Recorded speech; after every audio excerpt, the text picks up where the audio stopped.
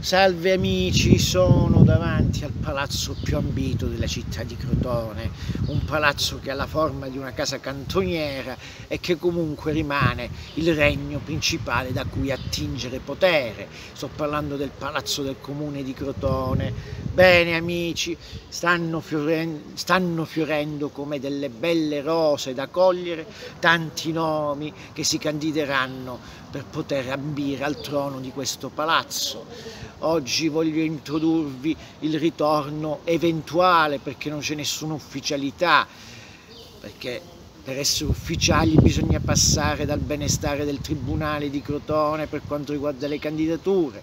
Voglio ripetere questa cosa, gli annunci sulla stampa sono una cosa, i fatti sono un'altra, però siccome ci piace fare gossip e calciomercato, quindi prendiamo per finto una notizia che potrebbe essere vero, prendiamo per vero una notizia che in questa insomma, confusione è spuntato di nuovo per magia il nome del famoso sindaco decennale Peppino Vallone.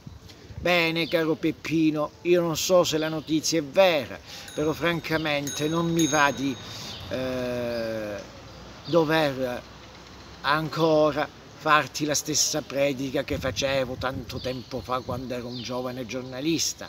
Chist sui fatiche che tu avessi fare. Ma siccome chiste fatiche tu non le hai volute fare e che non hai voluto ascoltare i cittadini, non hai voluto ascoltare, vabbè, è una, tutta una tua eh, caratterialità.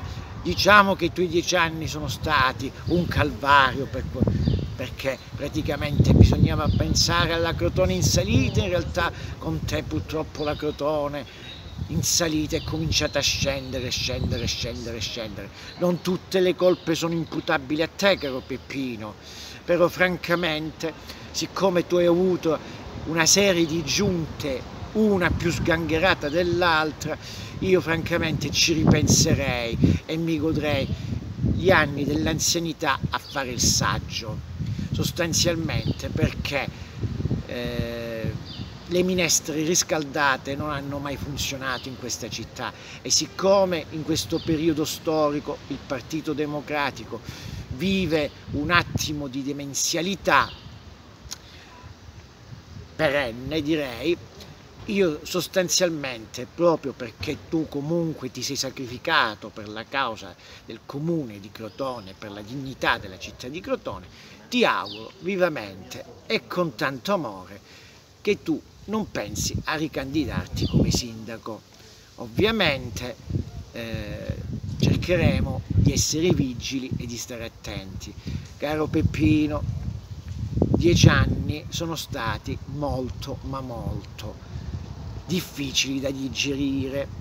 E siccome chi è venuto dopo di te non è stato considerato valido per amministrare la macchina comunale, ecco, non voglio che il Partito Democratico ripensi a un'operazione Amarcord, un'operazione ricordo nostalgia che francamente non fa impressione più a nessuno perché oltre a te pare che dal, dai loro sarcofaghi o, sar, o dalle loro bare scusate la, la letterarietà dell'espressione, stiano risuscitando altri vecchie mummie, qualcuna più giovane, qualcuna più anziana, ma sempre operazione nostalgia si tratta.